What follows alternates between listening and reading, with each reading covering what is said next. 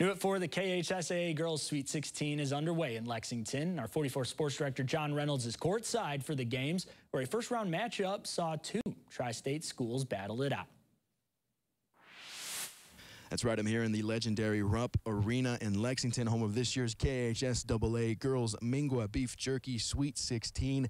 And we had a stellar game in round one today as the second region and third region collided here at Rupp as Henderson County and Owensboro Red Devils did battle here to advance in the Sweet 16. And what a game it was. The first half was all Owensboro all the time, led by Lyrica Hughes, Helena John, Unique Carter Swanigan. They shot nearly 45% from the field in the first half and held Henderson County to only 19 points. But we went into the break.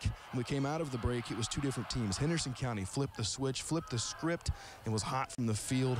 Played an outstanding game defensively in the second half, holding Owensboro to only 13 points in the third and fourth quarter combined, advancing to tomorrow night's next round as Italia Green would lead the Colonels to victory. 17 points, seven rebounds for Miss Green, and they would take this one 43-39, the final score here at Rupp Arena.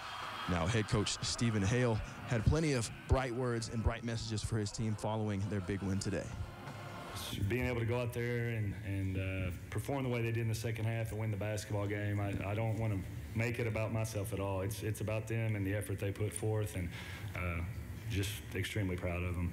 And the Lady Colonels will find out later tonight who they will face tomorrow between Cooper and Danville Christian. That game is going to tip off here at 6 o'clock from Rupp Arena. But for now, in Lexington, for 44 Sports, I'm John Reynolds.